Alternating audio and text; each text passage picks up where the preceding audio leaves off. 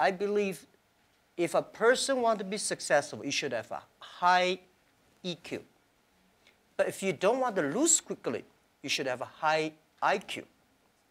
But if you want to be respected, you should have, have high LQ, the Q of love.